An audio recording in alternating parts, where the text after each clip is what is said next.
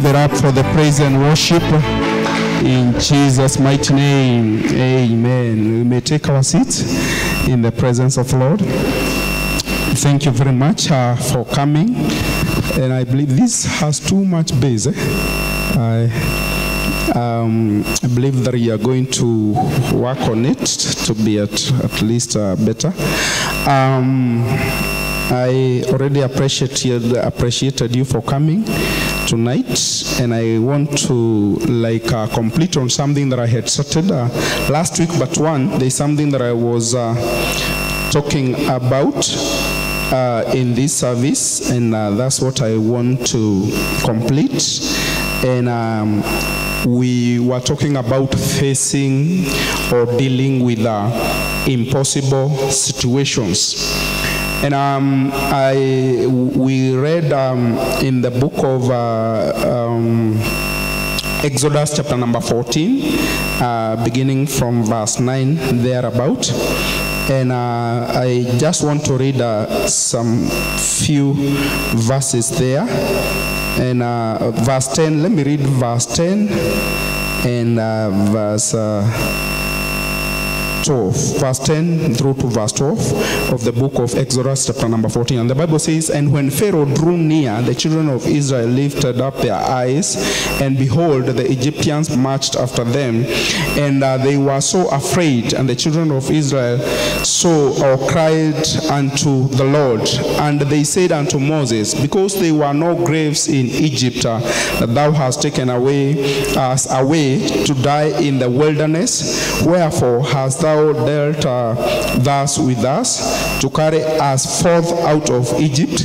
Uh, is it not this uh, the word that we did tell thee in Egypt, saying, Let us alone that we may serve the Egyptians? uh, for it had been better for us to serve the Egyptians uh, than uh, that we should die in the wilderness. Now, uh, we read this uh, words together with uh, there is verse uh, 9 that I skipped and there is uh, the verse 13 and 14 uh, there which uh, Moses now is speaking to the people as the mouthpiece of God.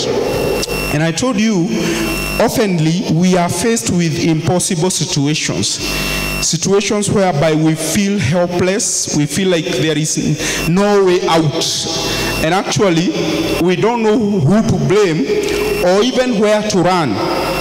And uh, all of us and i say i'm no exception in this we have found ourselves in this kind of situations. And I told you, as human beings, there is a way sometimes we feel like we should deal with it. Because the children of Israel here are seeing a situation whereby Pharaoh is coming and uh, the Red Sea is before them and they have nowhere to go. And even to make it more worse, they were with their children and everything they had. Remember, as they left Egypt, they had been given so much silver and gold. Actually, uh, because the promise was that when God was speaking about them uh, many years to come, uh, through Abraham, he told them, or he told him, that your seed is going to be in a foreign land for 400 years and after that i am going to uh, uh, deliver them and bring them to this land and i'm going to punish their oppressors but they shall not leave empty handed and therefore when they are leaving this land they are a people that are not empty handed they are with silver they are with gold they are with raiment. In fact god gave them favor so much that they went and borrowed from their oppressors in this context you realize it's very difficult for you to borrow your enemy something or someone who is not your friend who is not your family who is not related to you in any way who in fact wishes your death who does not have any good intentions towards you. And you go asking for them for something that is so precious and you expect them to give you actually, it's too much to expect. In fact, there are some people that you would go asking for something from, and you be telling yourself, and even people that you meet along the way, that "Ah, I'm going anyway just to try, but I know it's so difficult. It may not happen. They may never give me anything because, in any case, we are enemies. But God gives his people such favor that they ask for precious things from their enemies and their enemies give them. And you can see how God can operate. And, and this is the same enemy that is not willing to let them go. This is the same enemy who has been punished by God so much through many miracles, including the last one of taking away the firstborn of all the male children of the Egyptians, so that they can be forced to release them, to let them go. They have given them gold, they have given them silver, they have given them everything. Now, let me tell you some of those situations that make us scared.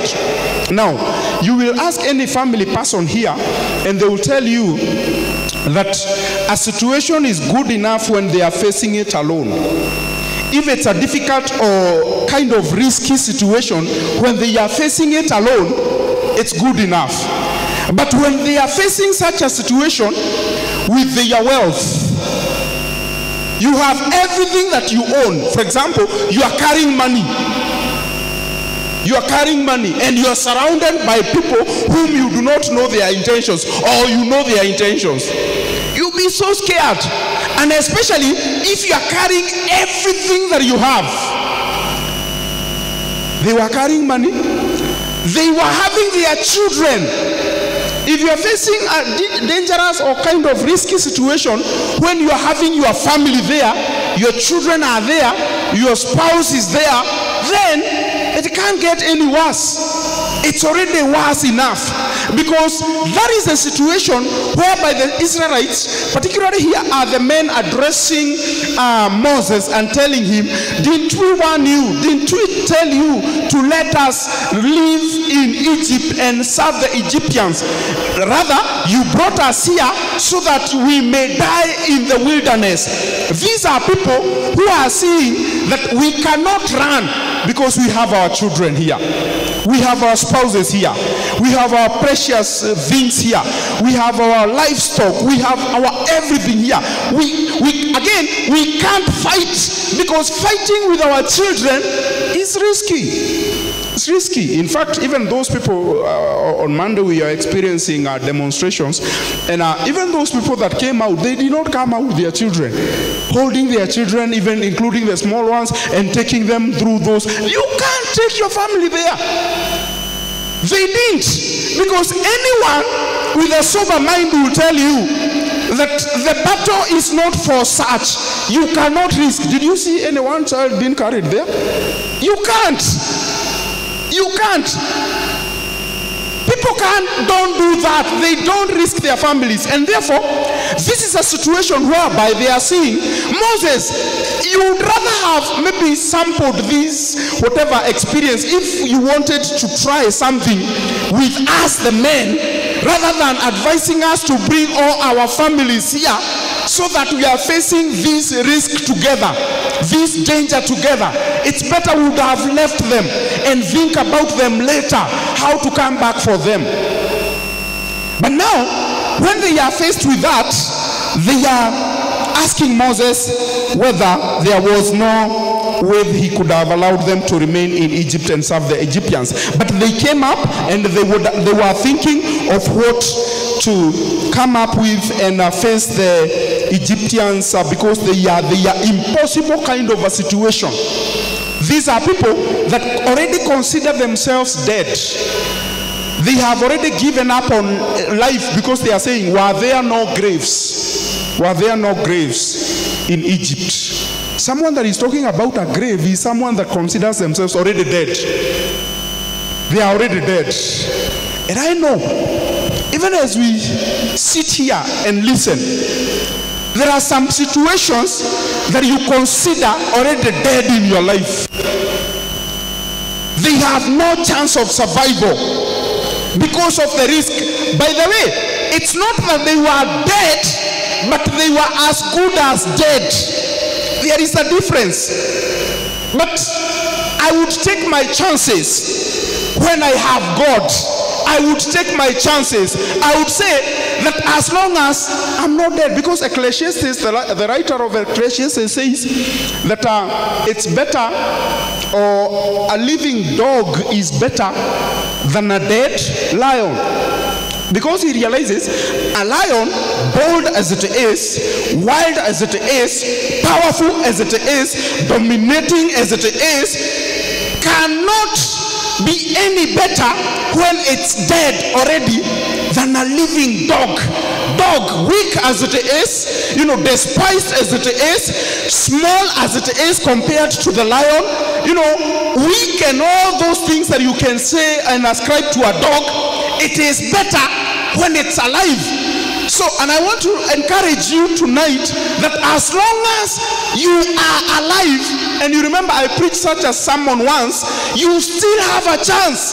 As long as you are alive, you can take the risks. As long as you are alive, it doesn't matter what is surrounding you, you still have an opportunity to come out of that situation alive you still have an opportunity to conquer, even if you are down. Because sometimes we consider because we are down there and uh, already our enemy is claiming victory, claiming victory that we have already won. I know you have seen these uh, uh, that we say don't celebrate early because the devil is one such kind of an enemy. He celebrates so early because we are told uh, that your enemy, the devil, is like a roaring lion. You know, he, he, he roams around like a roaring lion. He is not a lion, but he purports to be a lion.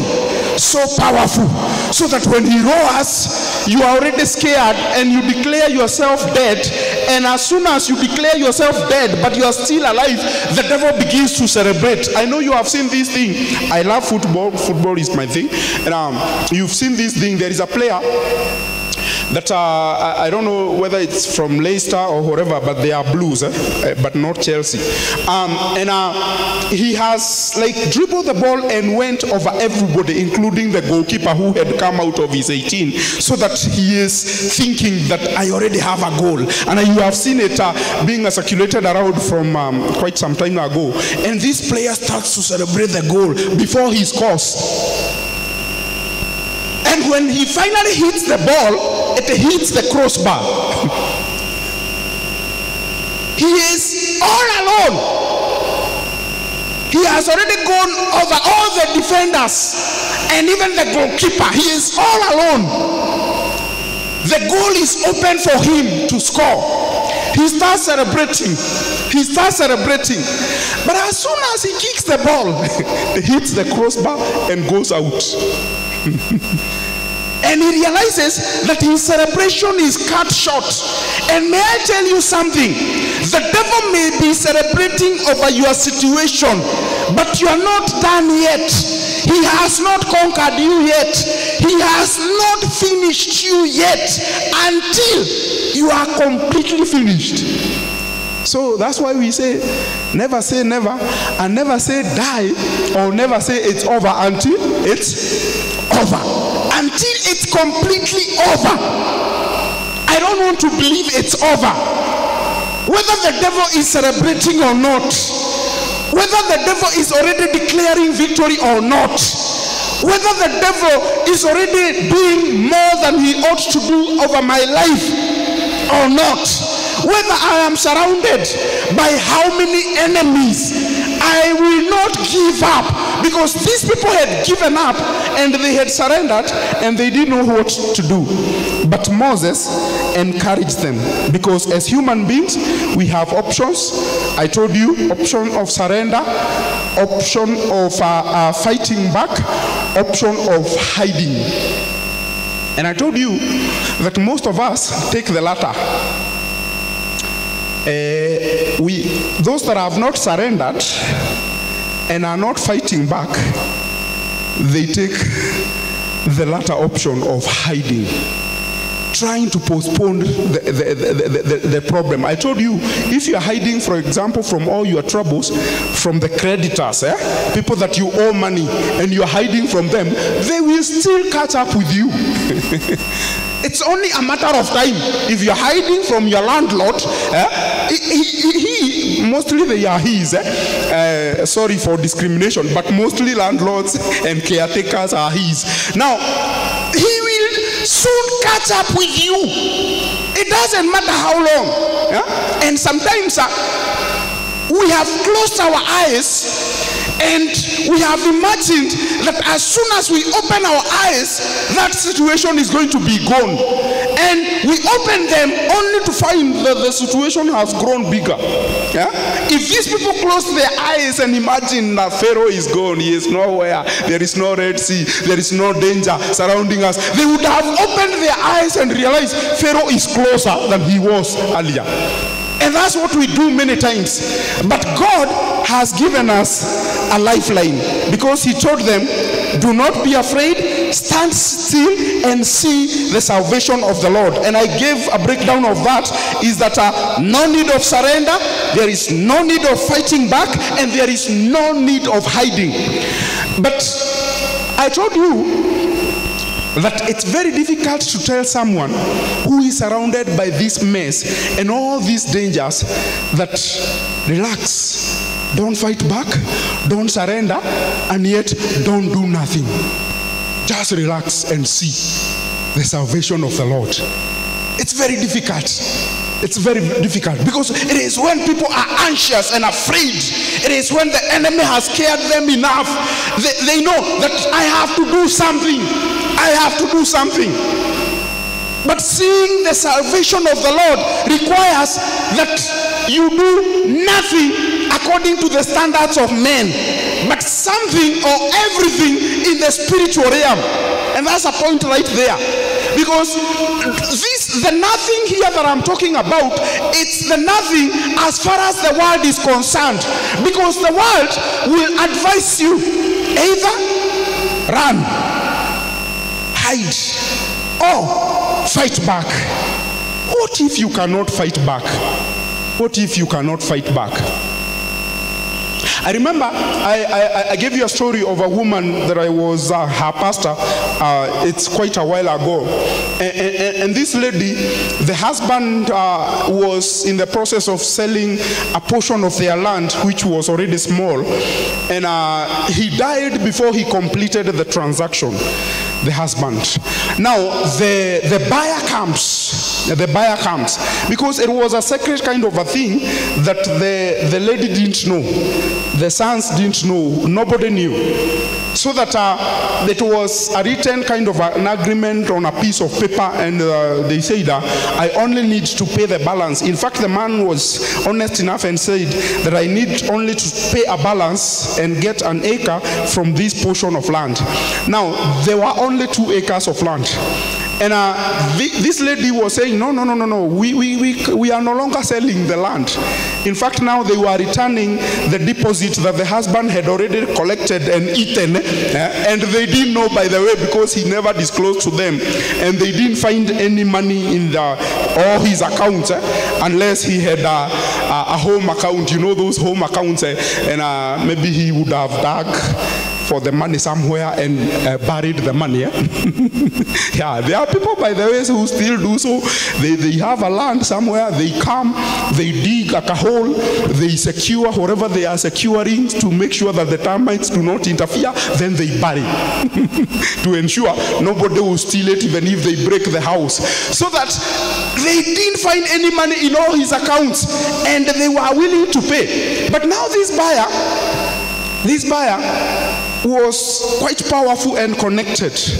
And uh, she came to me when the situation had escalated because they had gone to the local authorities, to the chief. The chief uh, was compromised uh, by this powerful fella.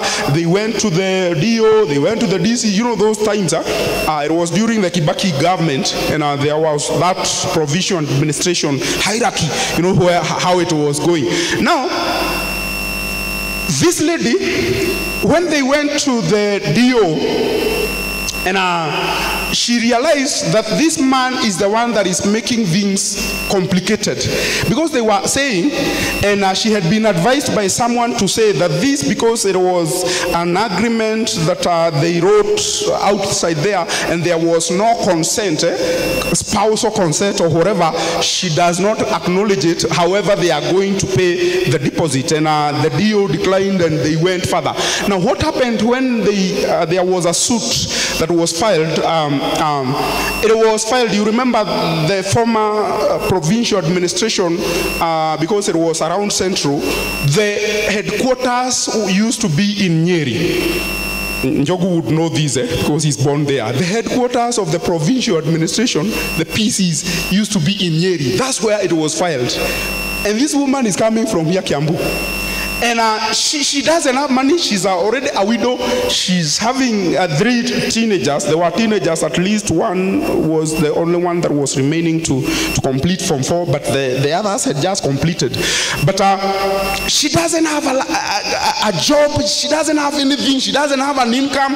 And now she'll be going for a hearing in Nyeri. And she came to me. And when I listened, I listened, I realized that what is happening, this man is so well connected and is so much powerful that we can do nothing.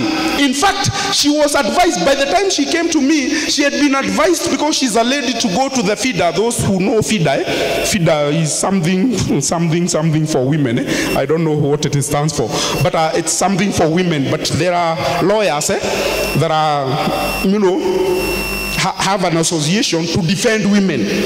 Uh, and when she went, she was given a lawyer. But this lawyer is a vag, eh? in quotes. she is given a lawyer purportedly for free because that's what FIDA does. But the lawyer outside of the system you know, draining her every penny that she has. She says uh, he's going to file this, he's going to file this, he's going to discover this, he's going to this and this office and ask for money. But that's not what she had been told in the offices. So when she came to me, she told me, the lawyer is not helping. He is demanding too much, which I don't have. And when I say I don't have, she, he says, it's your case anyway. I'm going to seek for an adjournment and it's going to be delayed further. And, and, and she was helpless. And when I realized, I told her, you just do nothing. Do nothing. What if he, he calls? Say, tell him the truth. You don't have money. Just do what you've been doing. You don't have money. And said, no, no, no. How about if they take my land by force? I don't know. Now, the situation as it is, this man seems to be so well connected and so much powerful. He needs a higher power. And she asked me, which, which, which one is that higher power? Do you know somebody who knows somebody? I her, no, no, no. I don't know somebody who knows somebody. But I know someone who is over every other power and over every other authority. And that's the one that I represent because I'm a man of God. We are going to pray to that one. And that one, he is able to change this situation. It looks messy. You are about to lose this parcel of land.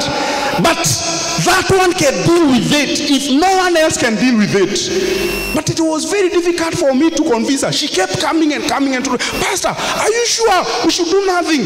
I was told by someone that if we look for 30,000, we go and bribe so and so and go and I told her, no, no, no. That man is already powerful. If you go that route, he is already more powerful. He has been bribing his way up there. So do you think you are going to overbribe him? Because if it's about bribery, you know our system. It's about the highest bidder. If you cannot, you know, pay more than she, he is paying, then uh, don't bother. Don't bother paying because he's going to overpay you. But she, she relaxed finally when she had no options. And we prayed and we prayed, waiting. The case delayed one year. The second year, towards the middle of the, that second year, she came and told me, Do you know what? From nowhere, the judges and those panel or whoever that were supposed to rule my case, they were changed all of a sudden. Those that were there were removed, and I don't know the whether they were transferred or whatever, and others were brought, and they expedited my case, and I won the case. I only have to pay back his deposit. The land is back to me, and she was telling me, when you are telling me to relax, and do nothing. I was afraid that I, you are telling me to give up, to give up my land, to wait and lose, or to allow my enemy to crush me further. But I told her something. There is something that you can do when no option is working because she had no option remaining which was possible on this earth. That's what I realized. There is no door that she could not knock or she could have knocked that this man could not have knocked. There is nowhere she could have gone that this man could not have gone. And let me tell you, when you are faced by such situations, there is a God that the impossible. There is a God that rescues us uh, from the hands of the enemy. Even when we are at the verge or, you know, to be devoured by the enemy, as the Bible says, uh, in the book of Psalms uh, that uh, uh, if the Lord had not been on our side, our enemies would have swallowed us alive. Because the enemy has the ability to swallow you alive. And even now, as I'm speaking, some of us are stuck.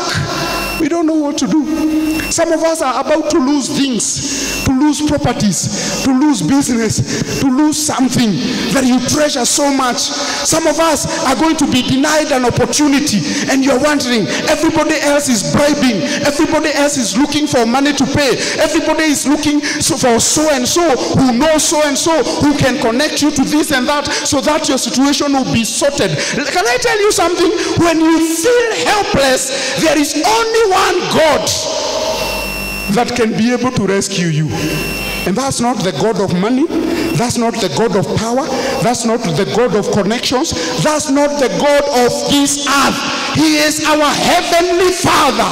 And that's why Daniel told uh, this king called Nebuchadnezzar, he had dreamt a dream and he presented it to his wise people, the sorcerers, the, the witches, and all those people that used to interpret his dreams. But he said, I'm not going to tell you the dream. Do You tell me what I dreamt and the interpretation thereof.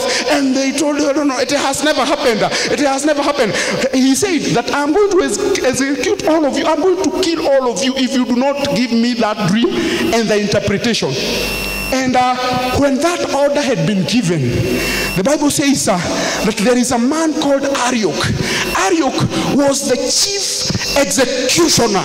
He was in charge of the execution of all the wise men. And the Bible says uh, Daniel was considered as one of the wise men. However, he had not been invited in council to interpret the dream of the king. But when now Daniel is given an opportunity by this Arioch, the executioner, he goes to the king because he told the, this man called Arioch, take me to the king. He told the king one thing, that what you are seeking cannot be sought from men. That thing is so difficult and so impossible in the hands of men. But he said, but there is a God in heaven, and that God is able even to enter the minds of people. He is able to see the dreams that you dream uh, in the darkest hour of the night. He is able to see what you are imagining, uh, what things that are coming into your mind, uh, whether in forms of dreams, visions, and all those manner of things, because He lives in heaven. And some people from some French, they say, Dariaga Gima. Have you ever heard people saying that? Yeah, French, eh? Those that are not French. They say that he doesn't eat uga. Yes, he doesn't eat ugari. But unfortunately, all where we have been seeking this solution, we have been seeking from people who eat ugari. so that they are like human as us. They are as human as we are. But they, they, they, they experience the same things we experience. They go through the same things that we go through, only that they have been given positions of privilege, positions of power. They have been designated somewhere where you think they have a solution. Let me tell you, even these wise men, they were surrounding the king. They were positioned in positions of power and privilege, but they could not do what our God could do. Because when Daniel was given an opportunity, he gathered his friends And I can tell you, this is the secret that you can do. Because the Bible says in Philippians, uh, is it Philippians chapter number 4? The ones that says uh, that, uh, I believe verse 6 there, that do not be anxious about anything. Can you put it up? Do not be anxious about anything. But, aha, uh-huh, this is which version? I don't know. Be careful for nothing. But in everything, by prayer and supplication with thanksgiving, let your requests be known unto God. Give me that version that says, Do not be anxious. Eh? Uh, is it the NIV? I believe. Um, do not be anxious about anything. Is it the NIV? This is what? This is the King James, eh? This one. Do not be anxious about anything, but in everything, by prayer and petition with thanksgiving, present your requests to God. Now, Anxiety, let me tell you, will persist as long as you are doing nothing in the spiritual realm. Let me tell you, the only thing that can sustain prayer, the only thing that can sustain prayer, because when Moses is telling them, stand still, do not be afraid, stand still and see the salvation of the Lord. In other words, what he's telling them, that you need to transfer your trust from yourself and the situation that you can see and all the options that you have in your mind to another source, a higher source. That's the only way you can sustain prayer. I can tell you for free, the reason as to why we do not continuously pray for certain situations is because we have not transferred our trust to that higher power. Our trust is still with us. Our trust is still with our families, with our connections, with our people that we know that are in positions and in places. And I, I, will tell you about the first job that I got. When I got the first job um, that I got, I was hired through somebody. And um, this person was very well connected. And um, Soon after, I didn't know, and he didn't tell me that he was resigning, by the way. He didn't tell me that he was resigning. he was a church elder. he didn't tell me. Soon after I started, he resigned. And I didn't know because he was working in higher offices. We were not meeting on a daily basis. So, the day I did my first mess, the day I did my first mess, so when you appear before, you know, when you are going through the systems, uh, you, you are taken to the personnel manage, ma manager and uh, your file is pulled out eh, as they listen to your case. So when they pull out your file, one of the first things that they were checking is who brought you. Because whoever brought you covers for you. So if whoever brought you is a powerful person, eh, in quotes, they are known to be very powerful and very well connected within the ranks and files, that, you know, the, the personnel management was somewhere in the middle of the hierarchy of the powers that be. Eh? Because before you reach the, the general managers and those that are uh, the CEO and all that, he is somewhere in the middle. So when he realizes whoever brought you is more powerful Eh? than him, then you are good, you are safe. So he pulled my file and realized that this fella was powerful and was well connected. But now, the problem is he had not heard. he had not heard that this guy left like yesterday. he had somehow he had not realized that this guy left so he was told in the middle of it, I was safe then. Eh? But he told me, no, no. Oh, so you, you thought you are still covered. Your guy left. And by the way, what he is telling me doesn't make sense to me because I didn't know how these things work. You are new in the company, so that you don't know how these things work. eh? Nobody had told me. So, but I told him, me, what are you talking about? I didn't know. By the way, because the guy that had brought me, actually, in the file, he is not the one that is appearing. No. He had connected to another higher guy. But now, this guy, th- th- when he left, and he had not told me he is leaving, so the one that had uh, was in my file as the one that recommended me had already told the others in the office that uh, I am no longer covering for this guy because he had been brought on behalf or through connections. So this man told me that, uh, so you are starting to misbehave this early because of whoever brought you. You didn't know he left. I say, why? And I argued with the personnel. We argued and we argued, and I argued my case, eh? and I was forgiven. So I went back to work and I asked my fellows who had stayed there for a while, what is this were talking about? Who brought me? Who did what? So no, no, no, no. Whoever brought you covers for you, even when you do mistakes here. So if yours has gone, you are on your own. right now you are exposed. you can be sacked anytime. But do you know what?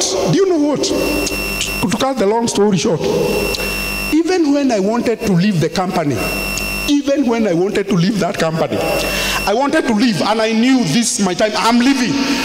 I did the worst. I did the worst. Two mistakes. First of all, I left without any permission and went for three days. I came back. you know what I was looking for? To be sacked so that I'm paid something. eh? But uh, they didn't sack me, they forgave me. I tell you, when you are connected high above, there is a power high above the power of men. And people are wondering, how did you survive that? I thought of something else. I thought of something else. I went for one and a half weeks without permission or excuse. I came back. You know, and the way you are coming back, eh, you are coming back as a don't care. You don't even report. You just go to work. eh. And when uh, my boss, my immediate boss, saw, show, uh, saw me and said, Hey, you are here. Is your mother's place. That you go for one week and a half. And I, can tell you for free, that company, Patrick knows it. There is no way you could miss three days and survive without permission. There is no way. Me, I missed one and a half weeks. I came back to work, and I was expecting to be sacked. I was taken to the same personnel manager who I argued with. And uh, everyone, including the union, we had a union, including those that were in charge of the union, had told me, You are on your own. Mr. Gaitho, you are on your own. On this one, you can't survive. And by the way, I had no excuse. In fact, I wanted to be sacked. I was telling them I was just resting at home. so that they, they, look, they see me as a foolish man and all that, they sack me. I wanted to be sacked. That was my target. But you know what? I was forgiven. and when I was forgiven, that case went through the ranks and file until I was invited by one guy. And thank God, this guy knew God. He's, he invited me. Told me, there is word going through the company that there is a guy who has messed up big time here. The offenses that he has committed, nobody has ever committed such and survived. But yet he has been forgiven. And I wanted to know what is your problem. He told me, Tell me the truth. I told him, I don't want work. At least I confessed. He told, Ah, only that. And I can guess that you want some benefits. Because uh, uh, by where I was in that employment, I had not reached that time of benefits. But if you live through, maybe you are sacked and all that, you are given some benefits. So if I resigned, eh, I would not, I would have lost my benefits. So I wanted something. eh. so uh, he told me, ah, I can guess. You, you, you wanted them to sack you, but they did not sack you. and probably you were reaching for your benefits. I'll help you. I'll help you. Just come with me. He took me to some offices. We went, we went. He, he was the one talking. Talked, talked, talked, talked. In fact, do you know I was given more than I was entitled? and I left the company bouncing. and everybody was asking me, How did you manage to do that? It doesn't happen. But I tell you what, those people, I was telling them, even me, I don't know. But one guy told me, it is this your church thing, eh? because they knew me as a church guy. That's the only thing that I was known with. Church guy. This guy, this church guy. hmm, They couldn't understand how I could maybe be going to work and refuse to go, maybe. Um, to, to work just for a church function, just for, especially Sunday was a no-go zone. We were paid so much on Sunday, like three times what we were earning to go on uh, Sunday, even at night. And I was saying, "Hmm, not my thing. I don't want. I'm not interested. I'm in church. And, and one guy said, is this his church thing that maybe was protecting him. And I realized, by the way, even me, I had no idea. I realized that I had a heavenly covering so that I was untouchable. Where others are touched, I could not be touched. Can I tell you something? For you to be sustained in prayer, you need to transfer your trust elsewhere so that even when you are not aware, God is still fixing something for you. God is still doing something on your behalf. God is still fighting battles for you. Sometimes you go through things that people go through and they die and they are completely finished and they are sacked and they lose money and they lose business. But can you imagine you going through the same things, but by the power of God you survive? And I pray that is your portion in the name of Jesus because you do not need a covering here on earth, you need a covering from above. And as long as the Israelites had this covering from above, they knew that our trust is in the name of the Lord. When your trust is in the name of the Lord, there is no one situation that will overwhelm you, that will overcome you in the name of Jesus. No matter what the doctors say, you will survive that sickness uh, in the name of Jesus. No matter what the experts are saying, that this business cannot work uh, in the middle of the crisis, uh, you know, an economic shutdown and all those things that are happening in our nation. But can I tell you, yours will work in the mighty name of Jesus because you have higher covering in the name of Jesus. The Israelites, throughout their journey, they went scaring everybody. In fact, there was a community that came to make a truce or peace with Joshua. They told Joshua that we were hearing because they deceived him. They came with uh, some uh, funny story that we have come from so far. We, we, when we left, our bread was fresh. Now it's uh, full of moth and all that. When we left, our shoes were new and our clothing were new. Now they are finished.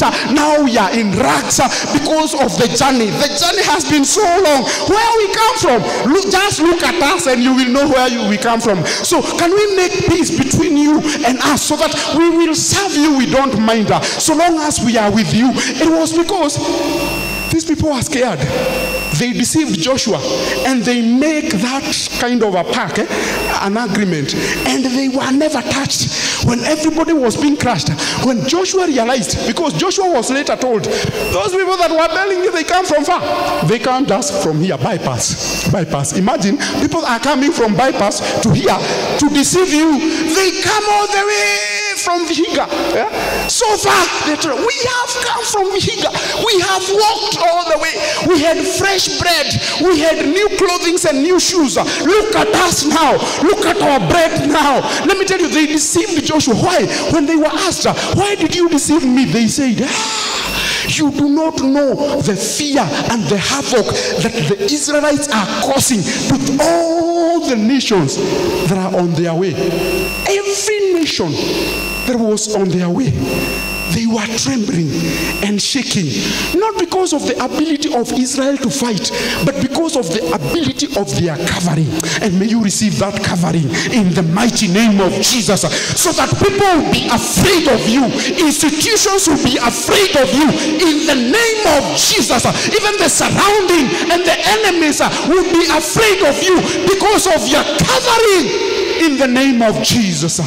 May you continue to uh, trust in Him in the mighty name of Jesus.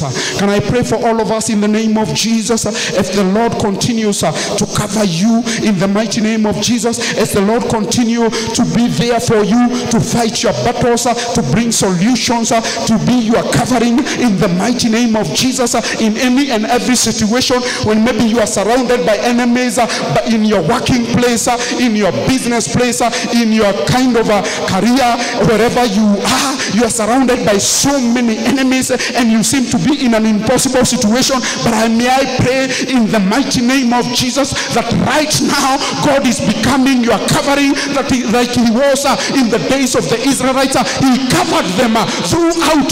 it didn't matter the number of their enemies. it didn't matter the superiority of their enemies. it didn't matter what their enemies had and their experience. it didn't matter. The Lord covered for them and He covered them throughout.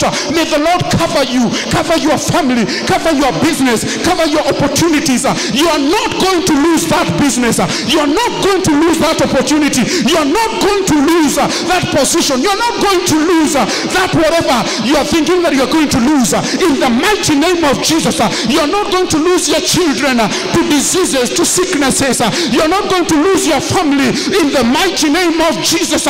No matter what the experts are saying, may I declare in the name of Jesus uh, that the Lord is for you and He is fighting your battles in the mighty name of Jesus uh, because you have transferred uh, your trust uh, in Him in the mighty name of Jesus. uh, And right now, as we pray, I want to pray in the name of Jesus. uh, May God begin to rise and His enemies be scattered in the mighty name of Jesus. May God show up in your hour of need.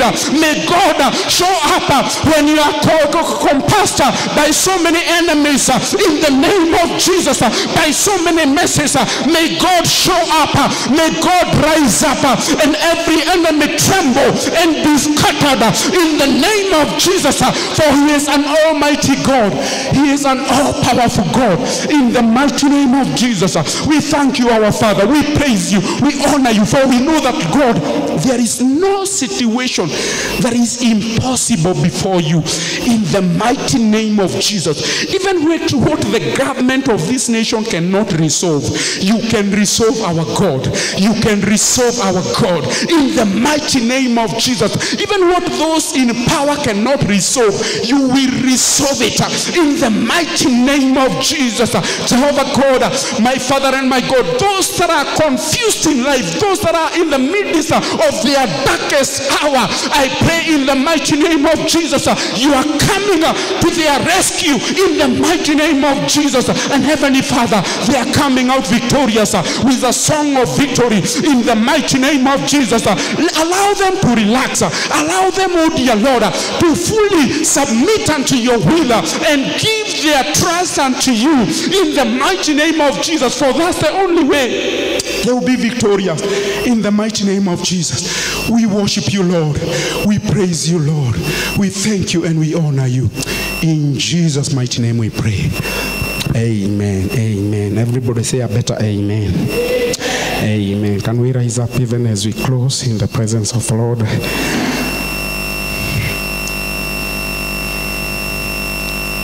Amen. Amen. I want to assure you that uh, the Lord is in charge of our situation in the name of Jesus.